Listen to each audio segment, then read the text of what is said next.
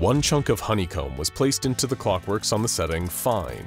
The output produced was one ball of wax and fiber, which exploded into a swarm of animate wax bees upon the opening of the output chamber. The bees proceeded to attack junior researcher Stan, who was waiting to conduct a test at the time. Upon reaching him, the swarm melted around his wrist before taking the shape of a wax bracelet. The bracelet stung him several times before becoming inert. Researcher Festive noted, it seems the bracelet stingers were made of diamond, likely made out of carbon impurities in the honeycomb.